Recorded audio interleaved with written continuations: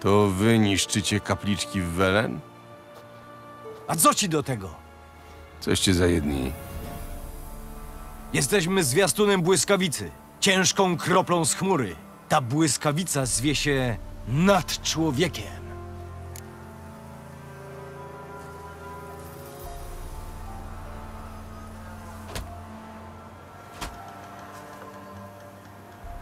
Miejscowi twierdzą, że bogowie są niezadowoleni. Nie boicie się ich gniewu?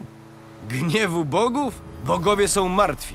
My usuwamy tylko ich rozkładające się szczątki, trujące zarzewie szkodliwego zabobonu. Wspaniale. W takim razie może teraz po sobie posprzątacie. A potem wrócicie usuwać zarzewie tam, skąd przyszliście. Mistrz Friedrich z Oxenfurtu rzecze, że bogowie umarli. Religia to opium dla ludu. Prosty lud lęka się jeno religii i kapłanów, nie bogów. A ten strach zakuwa nas w okowy ciemnoty. Powinniśmy stworzyć nową moralność albo i obejść się bez moralności.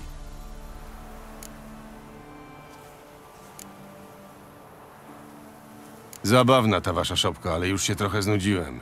Wynoście się stąd. Nie wracajcie. Bo co? Bo pójdę po panią z dziekanatu. Represje? Bić pachołka reżimu! Cyrk złapać ludziom pokazywać. Kapitał można zbić.